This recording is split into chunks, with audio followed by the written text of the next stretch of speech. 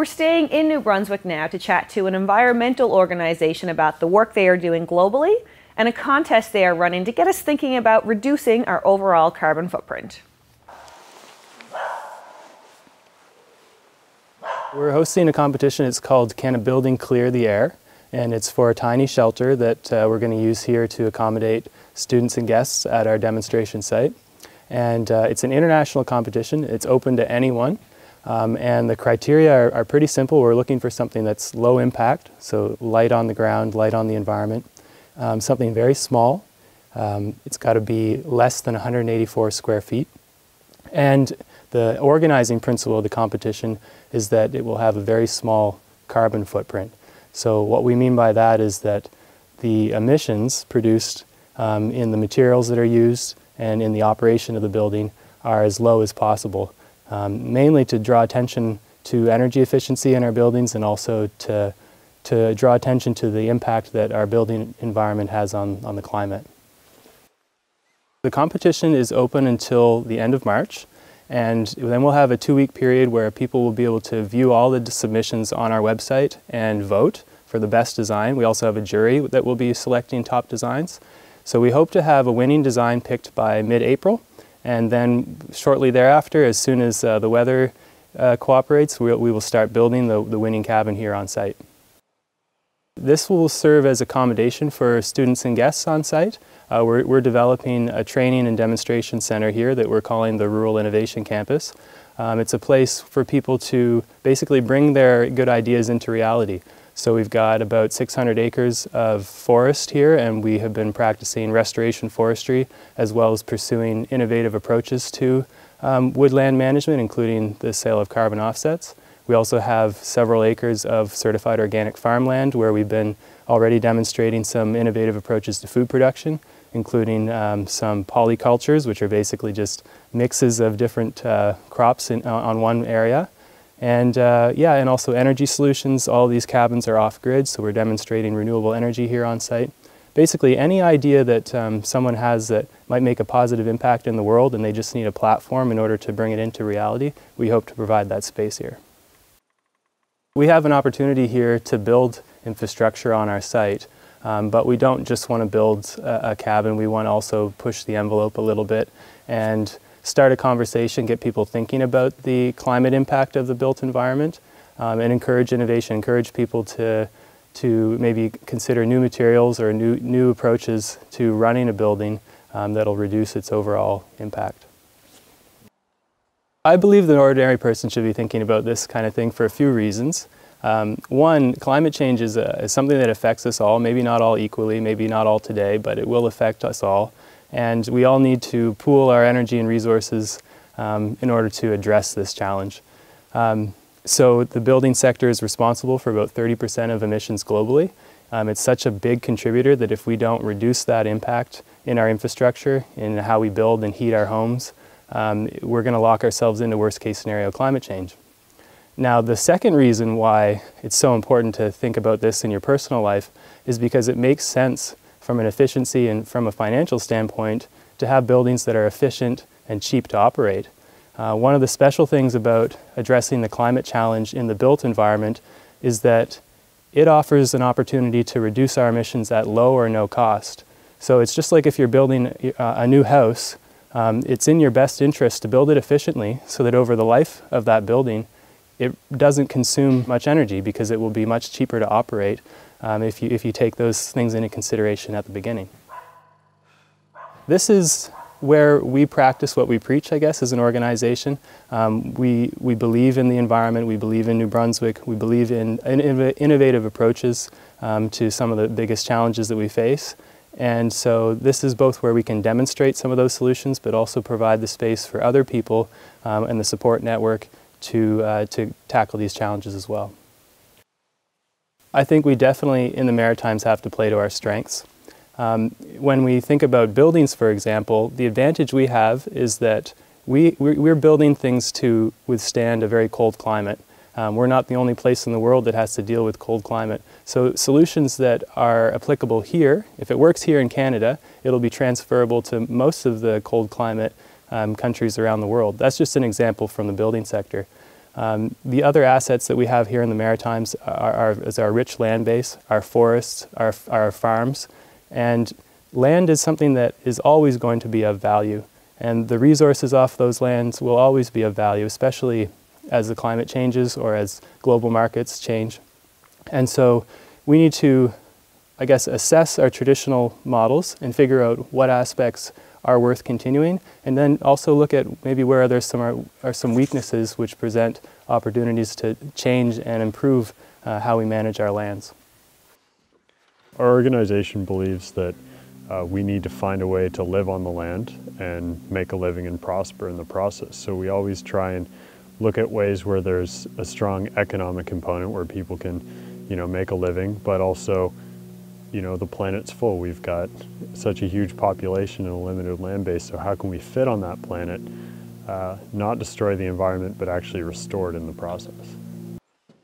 What we've found on, on this site at uh, the Rural Innovation Campus, it's a long history of, of people, the past owners, Clark Phillips and Susan Tyler, actually demonstrating how you could uh, farm, grow organic produce, work in the woods, restore a forest, um, but in the process still be able to make their livelihood, to generate an income and a living.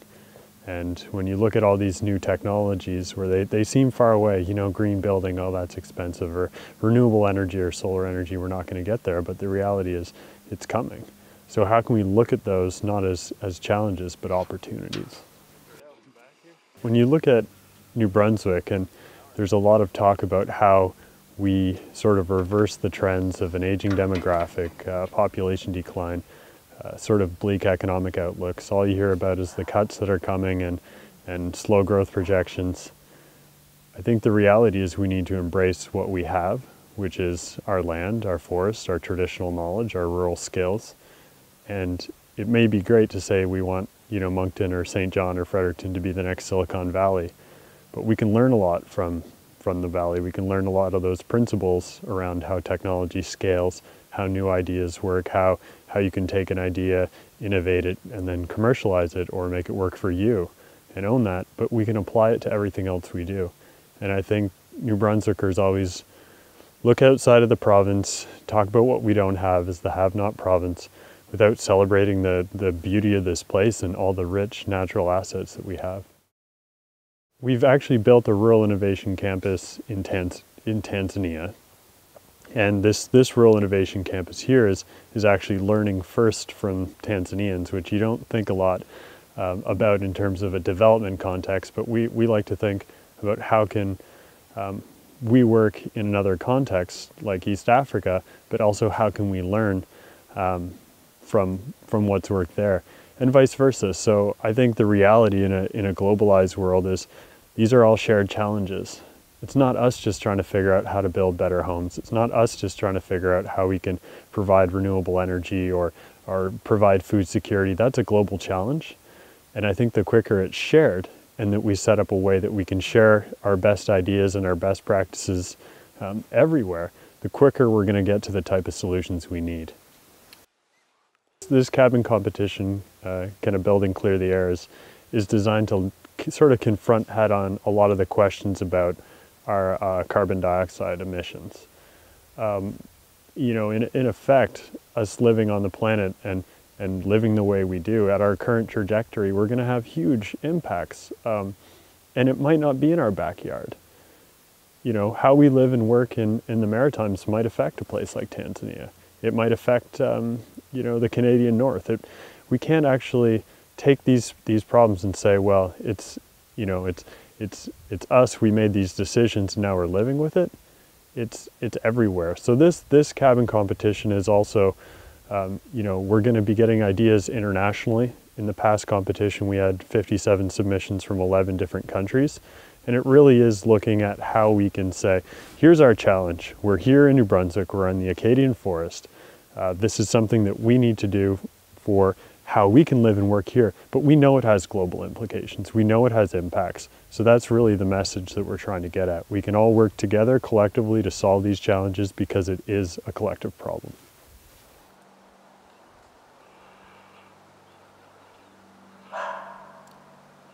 So we're going to take a look at the Nomadic cabin. This is the winner of our last design competition, and it was designed by a young architect in Toronto named Nathan Fisher.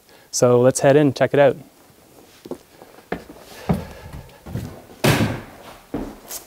So this is it. Um, as you can see, it's pretty cozy. And uh, the, one of the criteria in the design competition was that it would be less than 184 square feet, because what we're going for is a tiny shelter.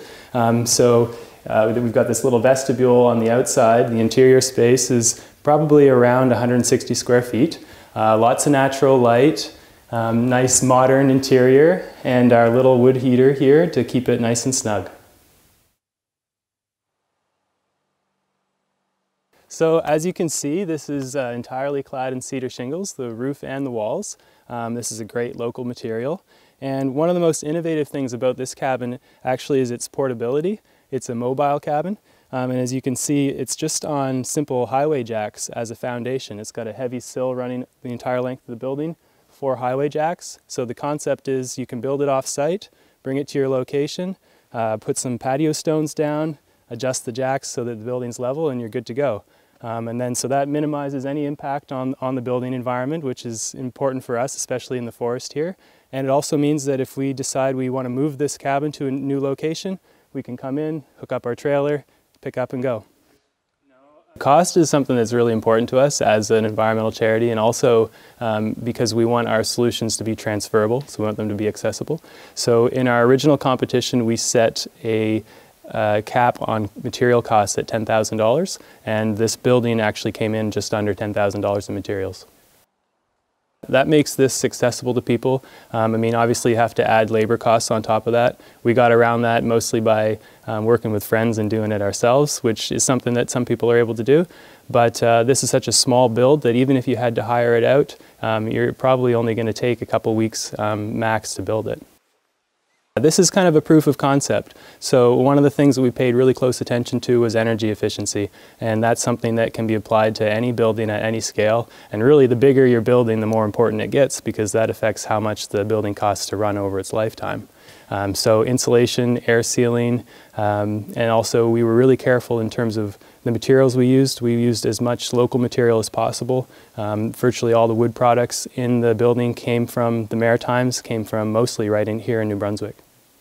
If you are interested in submitting an idea to the contest and you'll want to check out the submissions because there is a People's Choice vote, check out their website, forestsinternational.org. The shortlist entries will be printed and on display in an exhibit in St. John's, so look for that because, like Jeff said, everyone should be thinking of this.